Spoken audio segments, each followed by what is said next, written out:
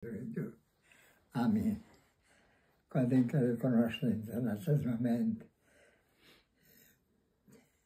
că numele Tău pentru noi este pricina tuturor bucuriilor și nădejdilor spre împlinirea voii Tale, în oastea Ta, adevărata Ta oaste, de care te-ai folosit de oameni, pe care Tu ai ales și ai pus le-ai încredințat munca, lupta și jertfele Părintele Iosif.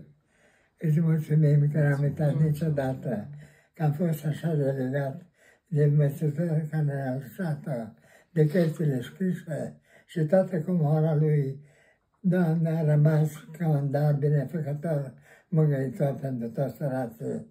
Te rugăm în acest moment la care nu ne așteptam, că ne-am întâlnit că ne putem îmbrățișa cu aceeași dragoste de la început, să nu sfârșim nici într-un fel altfel decât a fost asta ta. Așteptăm cu fiecare zi ziua fericită și când ne vom despărți de tot și pământesc și vom trăi până atunci când ne vei chema și pe noi să purtăm chipul tău, slava ta, și oasele noastră ta, fiecare mădular în parte, să fie sfințit prin sângele tău, curățit și noi de plin și pentru totdeauna. Să nu uităm, Doamne Iisuse, începutul ei, cât și sfârșitul ei, pentru că ea n-are sfârșit.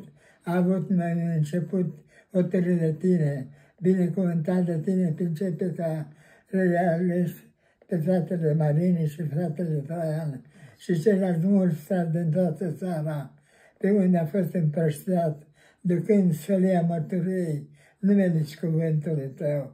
Binecuvintează frații de la Galat, din toată țara, de la Suceava, Timișoara, din orașele principale, pe unde frații noștri au rămas împărștiați, ținând sus cuvântul mărturiei tale îți mulțumim că ne-am rămas mai puțin, dar de atâta timp numele Tău a fost scris, numele casei noastre, unde slava Ta s-a arătat prin fratele Traian de multe ori.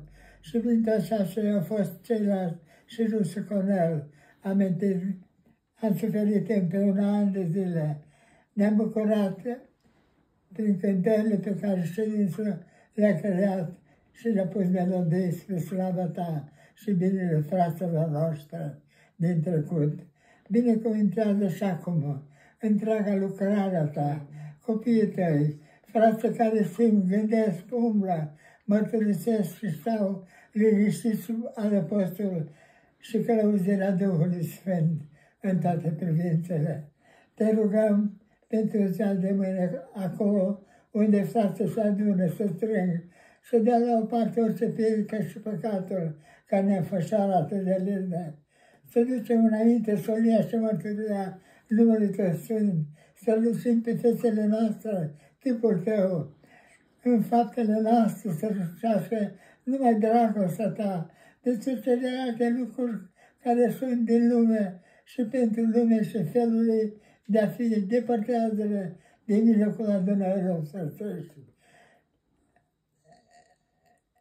O Iisuse, Domnul și Mântuitorul nostru, de mulțumim pentru seara aceasta, că ne-am întâlnit, nu ne așteptam.